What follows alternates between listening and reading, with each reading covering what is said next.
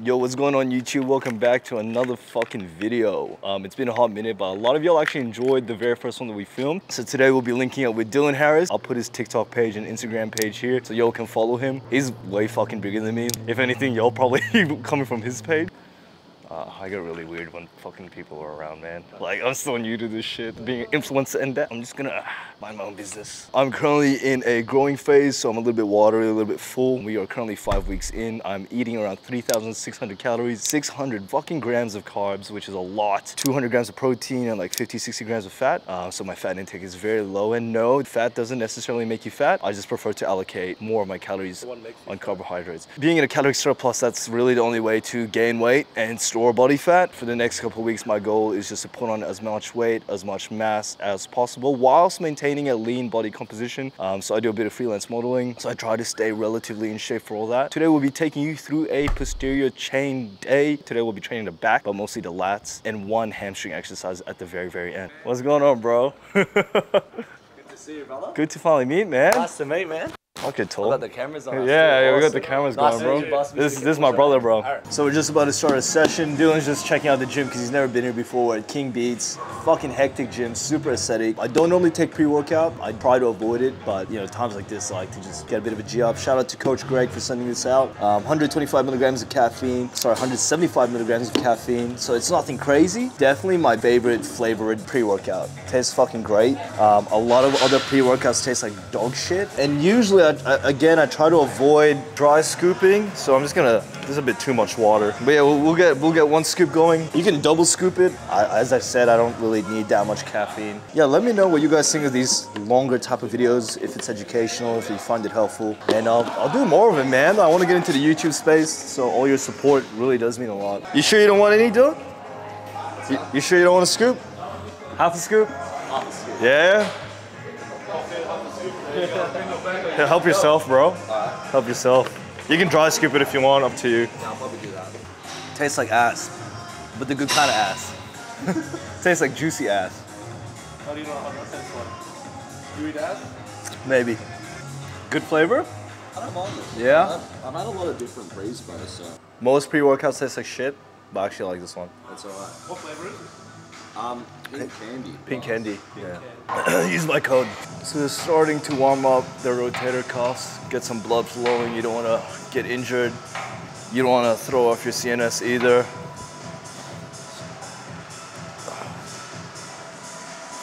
So this is slightly different to what we were doing earlier. The previous one was more rotator cuff focus.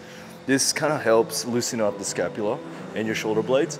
Since we're doing back and we're starting off with neutral grip rows, it just helps you increase your mobility and range of motion and quality of contraction. So it's really good to take your time, warm up, uh, make sure you know the coming exercises and movements you get the most out of it and you're just not wasting your fucking time. So on the way forward, yep, open this up. Yeah, yeah, yeah. And now go pull back and really squeeze that mid back. Do you feel that right there? Yeah, yeah. So that'll just kind of loosen up a little bit. And you'll notice that when we start to do rows, your quality of contraction will be better.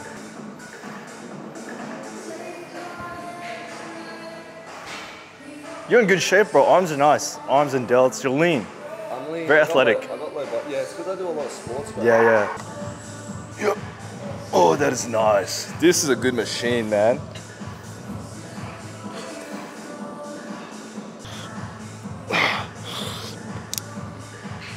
Again, just working on that mobility and prepping the CNS for the coming sets.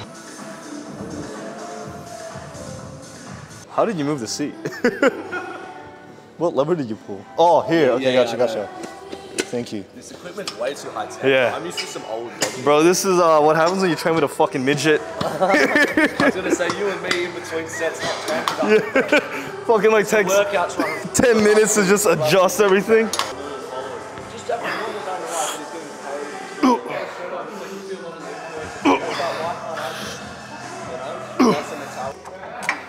I'll make sure I'll make sure I grunt really loud like into the oh fuck.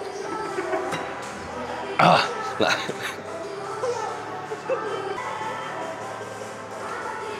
So full extension of the very bottom, stretch, stretch, open up, open up more. That's a tall boy in that, you know? tall boy. Tall boy problems. Don't Exactly. Have those. Yeah, we want to know. I'm actually sweating, bro. Yeah. yeah. I'm, i think it's the pre. I reckon it's the pre because Yeah, I'm um tingling. Usually I track all my lifts, but because we're in a different gym, I can't really document everything.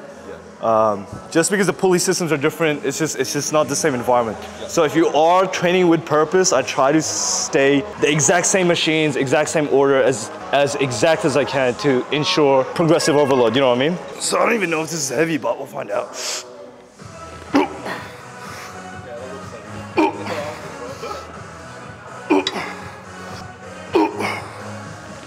I'll go heavier. I'm gonna go heavier. The other problem with me is because it's hitting my knees. Yeah, there's perks to being short. Fuck all you guys. right in the middle, four. Good. Five. Nice and slow. Nice. Good form, man. Six. Seven. Eleven. One more. And I want you to hold this.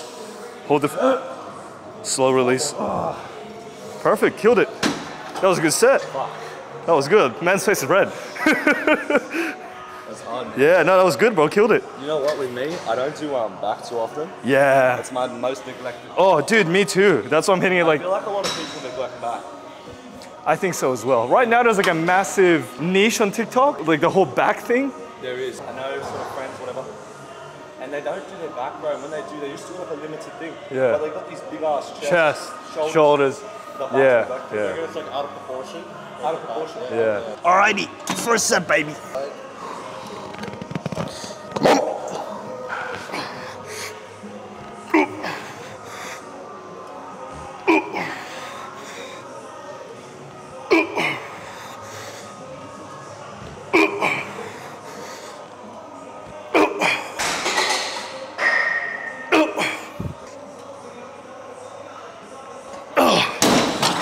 Fuck, man, that was heavy.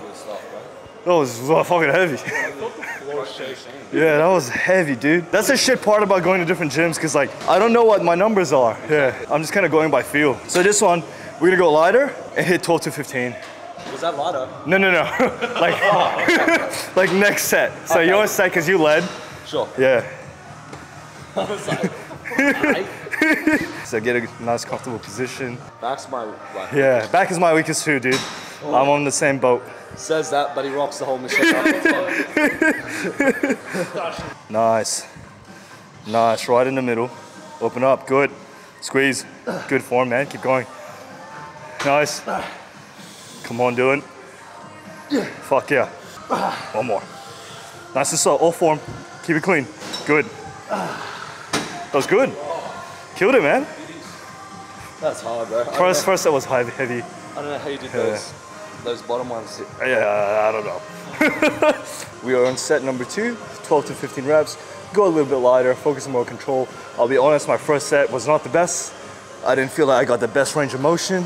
The control wasn't the best, the contraction wasn't the best. But as I said, we're not in my home gym, so I don't know what the fuck my baseline or my numbers would be. Um, anyways, let's get into this. nice and slow. That's nice.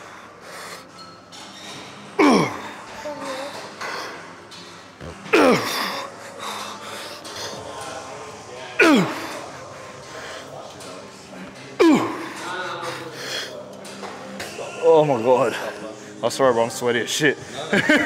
With the way I'm currently training, I'm being coached by like an uh, IFBB pro competitor. Uh, so I used to train high volume, high intensity, but we've cut down the sets and really ramped intensity. So you can kind of get fucked if executed correctly with two to three sets. But again, it's hard because like we don't have baselines. Do you know what I mean? Yeah, no, I so it's a bit confusing. get But yeah, killed it, bro. Over 100 kilos. Right, that's why I was struggling. That's why. Man's, you were going heavy, bro.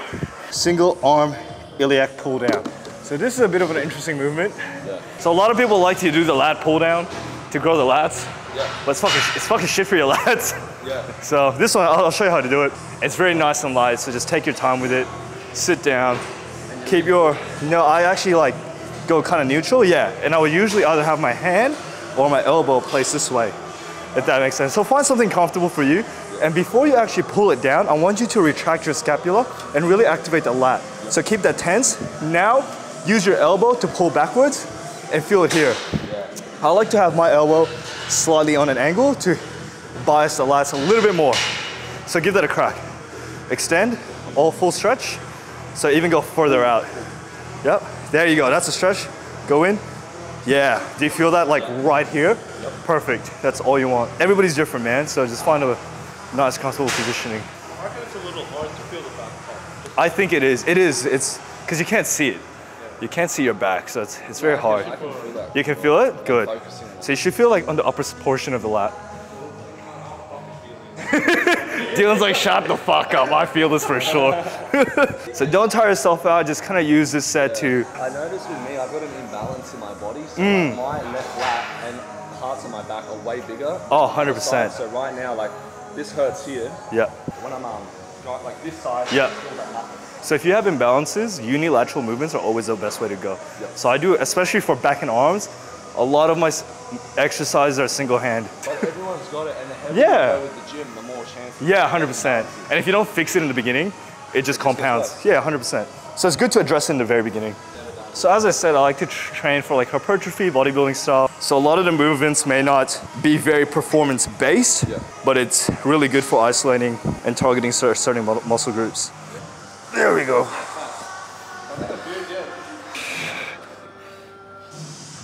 People either think I'm older. This is good, bro, if you want to put your foot there. I stretch afterwards. I do, in the beginning, I would do dynamic stretching. Studies that show that static stretching is just not ideal. Like, it actually leads to more injuries, apparently. So I would warm up doing movements as we did. Afterwards, I would do like static holds and shit just to get loosen up the muscle groups, make sure the blood's flowing and doesn't tighten up. And foam rolling. Fuck, y'all got a foam roll, man. I stretch a lot, but I find like I'm so tight from Yeah. just doing training. If when I'm playing basketball or other Yeah. things, I get like more Yeah, you get my cramps. back because I'm building muscle that I don't naturally use in basketball. I'm thinking like the more I train, is there a strategy big bodybuilders use to keep athletic as well? So I go physio once, or, once a week, once a fortnight.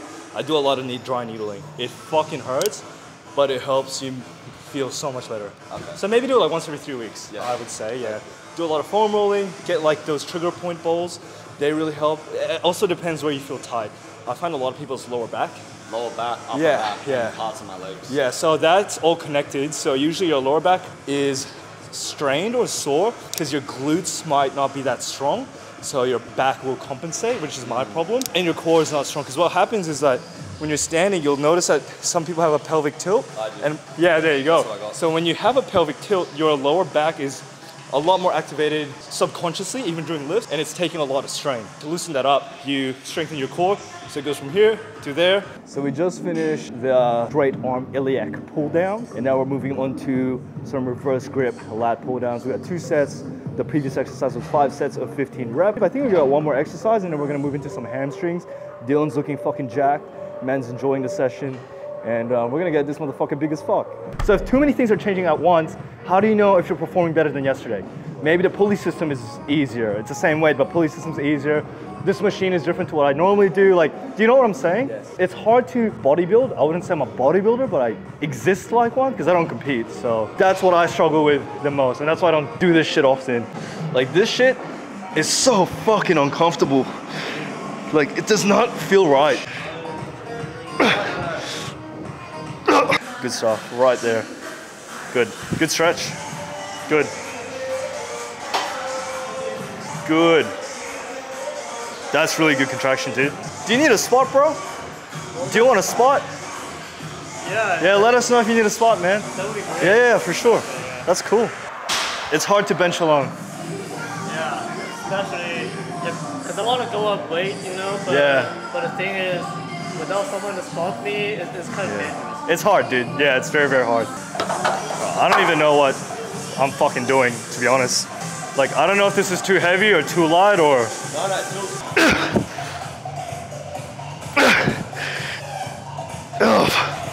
Form went to shits, but Let's try. it. My forearms get really tight on this side. That's the problem. When I fatigue, it's like uh, it's tight really bad on my right.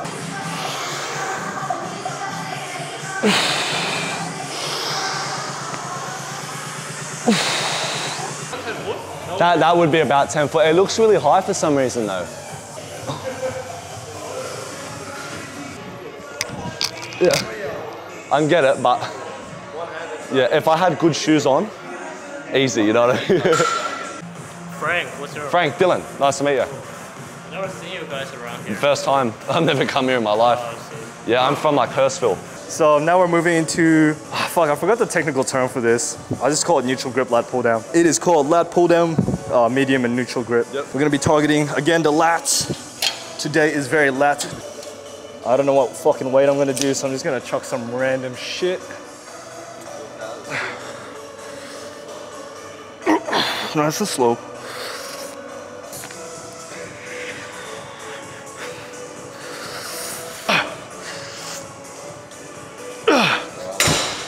That was good. Shit, bro. So our goal is to bias this part of our lats. There you go. Right, good, perfect, nailed it. Good stretch. Focus squeeze, nice, good form, dude. Heavy too. Let's go. Nice. Killing it, man, come on. What are you on? Nice. Is my right forearm Tenses. tenses really hard? Yeah. Um, I gotta get that stretched. I need to go physio. Yeah, yeah, physio. I have a forearm injury as well. This one's constantly tight. What I do is I don't, I try not to grip too much. Yeah, yeah. I I just kind of let. Yeah, yeah, me hard. too. But it's good to build your forearms. Like, let's go, Dylan. All right, so we're pretty much done with back. We're just gonna throw in some biceps. We're gonna sack off hamstring curls because I do not have the fucking concentration to do that right now. Um, since this one exercise intensity is very, very high, um, and I'm just not in the right environment for it, and I'm way off program anyways, so I don't really give a fuck. Um, so we're just gonna finish off with some preacher curls. I like to do them individually. Again, I don't know what, what weight I'm supposed to be using, so we're gonna just be playing around. The reason I like to do it individually is because my left one is actually fairly smaller than my right biceps. For the people that struggle to build a symmetrical physique, unilateral movements are definitely the way to go. And control is always a lot more important than weight. As you can see, my, you can even see my fibers actually like ripple and recruit. Nice and slow. I don't even know what fucking rip I'm on. I'm just gonna say eight. Another tip that I would say is if you are weaker on your left, for example, always start with your left arm. Don't do what I just did. Not gonna lie, I don't like the setup of this. It feels fucking weird. It doesn't feel right. It's very down. It is, it is. So the target is a short head, so the inside. So this kind of helps build the thickness of the bicep. Fuck, come here, come here. This motherfucker's lean, man. Look at that.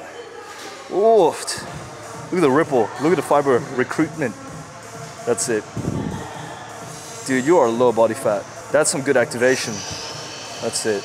Good control. Good stretch as well. You got it. Good stuff, Dylan.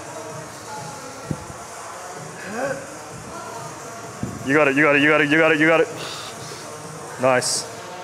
Killed it, bro. That was a fucking good set. That was good. I think when I do single arm stuff, when you go to the second one, isn't there a reason why it's weaker? Like, Yeah, because I mean your body's really fatigued, right? Yeah, facts, So that's why I always try my left one. because the moment I started it, just Bro, hurt. unilateral like split squats. Do you know what split squats are? Uh, it's not like really, When you you know these the movement where you put your leg up. Oh, you of course, of course, Yeah, of yeah, course. When you do the second one, it's fucked. I know, I know, I know. So fucking shit.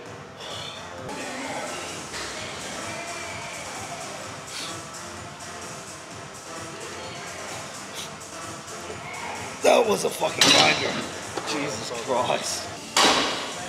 I don't really like this specific machine. I like this movement, but it's, it's a bit awkward. Like the tension, the distribution of tension is just not where it typically would be.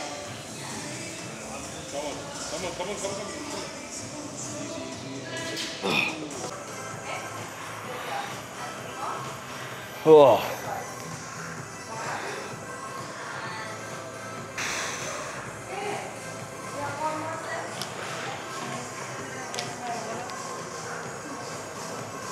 So we just finished up training, having post-workout feed. We got some fucking pasta and chicken breast.